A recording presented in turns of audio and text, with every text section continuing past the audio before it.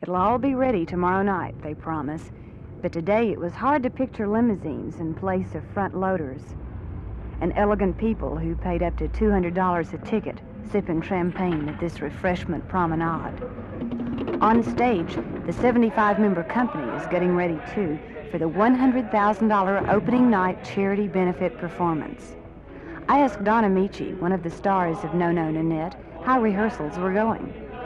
Oh, I think they're going very well. Uh, right at the present time, um, we're down to what I call the minute refining of a play in rehearsal. And that gets to be a little bit boring because you know 99.9% of everything that you want to do. Uh, that is in rehearsals, and this little one tenth of one percent refinement. And it, it, it, the reason it gets a little boring is that you know that you still have a lot of refining to do, but it's impossible to do it until you get it in front of an audience, and this is why it gets to be a little tedious.